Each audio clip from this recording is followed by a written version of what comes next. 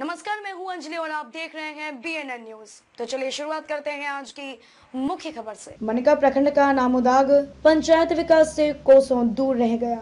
पंचायत के हर एक गाँव की सड़क, नाली, गली और पेयजल व्यवस्था पर आँसू बहा रखा गया। इस पंचायत के साधवाडे गाँव 2010 में एक आदर्श गाँव बनाया गया था। गाँव के लोगों को रांची में ट्रेनिंग दी गई। सरकार की सारी योजना इस गाँव के लिए बनाई गई, परंतु वह धरी की धरी रह गई। ग्रामीणों को आज तक ना तो शौचालय मिल पाया और ना ही पीएम आवास।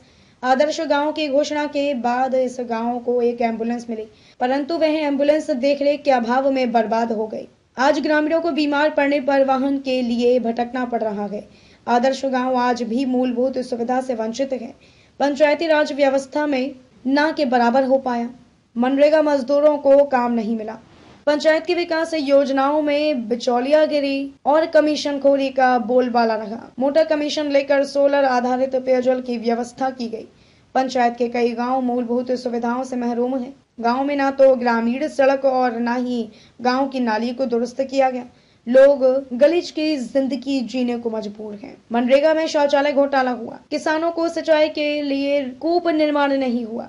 पंचायत में कुल पाँच गाँव साधवाड़ी, नामुदाग, मानिकड़े चिचिंदा और कुटमू हैं। इन सभी गाँव की सड़कों का खस्ता हाल है। नामुदाग पंचायत के लगभग सभी गाँव के लोगों का मुख्य पेशा मजदूरी करना है, परंतु यहाँ मनरेगा से भी काम नहीं मिल पाता है।